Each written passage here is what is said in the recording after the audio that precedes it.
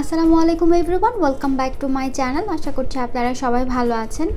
আবারও চলে এলাম আরও একটি ট্রাভেল ব্লগ নিয়ে। আমি আজকে যাচ্ছি লন্ডন টু ঢাকায় আর এই কোভিড নাইন্টিনের সময় আমাদের ট্রাভেল করার কোনো ইচ্ছা ছিল না। পার্সোনাল কিছু রিজনে আমরা বাংলাদেশে যাচ্ছি। ভাবলাম আপনাদের সাথে একটু শেয়ার করি। আশা করি আজকের ব্লগটি আপনাদের ভালো লাগবে। দেখতেই পাচ্ছেন প্লেনের বেশিরভাগ সিটগুলো ফাঁকা রয়ে গিয়েছে। কোভিডের কারণে তেমন একটা কেউই ট্রাভেল করছে না।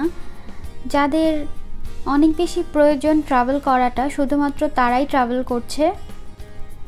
আমরা এখন আছি দুবাই এয়ারপোর্টে আমরা এখানে তিন ঘণ্টার ট্রানজিটে আছি। তিন ঘণ্টা পর কানেক্টিং ফ্লাইট ধরে আমরা ঢাকার উদ্দেশ্যে রওনা দিব।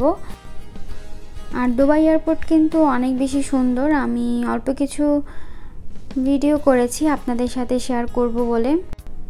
লন্ডন থেকে দুবাই পর্যন্ত জার্নি অনেক বেশি ভালো ছিল, তবে দুবাই থেকে ঢাকা পর্যন্ত জার্নি তেমন একটা ভালো ছিল না, কারণ অনেক বেশি ক্রাউড ছিল। সেটার একমাত্র কারণ হচ্ছে কানেক্টিং ফ্লাইট ছিল। কানেক্টিং ফ্লাইট দুবাই এসে সবাই একসাথে বিভিন্ন দেশ থেকে এসে বাংলাদেশে যাবে, সেজন্য পুরা প্লেনটাই ভরা ছিল।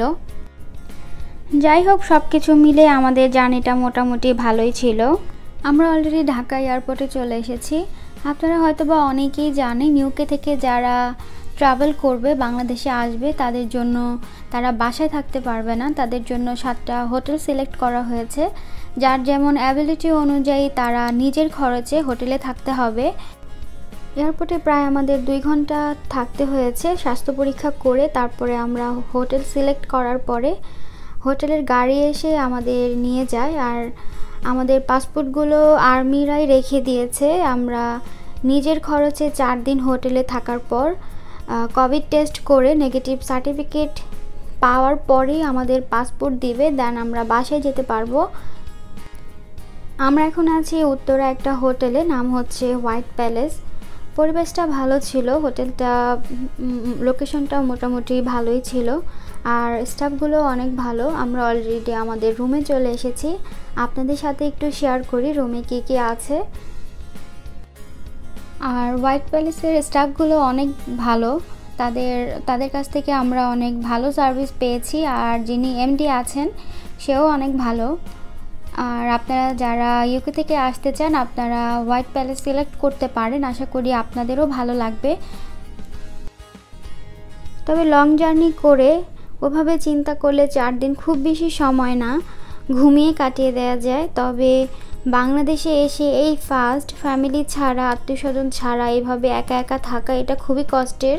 বাট কি করার? কিছুই করার নেই। এই ছিল আমাদের রুম এখানে সব রকমের ব্যবস্থা ছিল।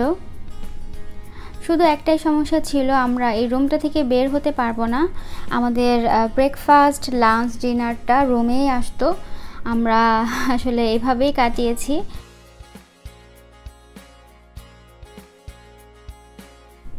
এই ছিল আমাদের আজকের ভিডিও আশা করি আপনাদের ব্লগটি ভালো লেগেছে। ভালো লাগলে একটি লাইক করবেন, কমেন্ট করে জানাবেন যদি কোনো প্রশ্ন থাকে। শেয়ার করতে ভুলবেন না ফ্রেন্ডস অ্যান্ড ফ্যামিলির সাথে। আর আমার চ্যানেলটিকে এখনও সাবস্ক্রাইব করে না থাকলে please subscribe my channel thanks for watching আল্লাহ হাফেজ।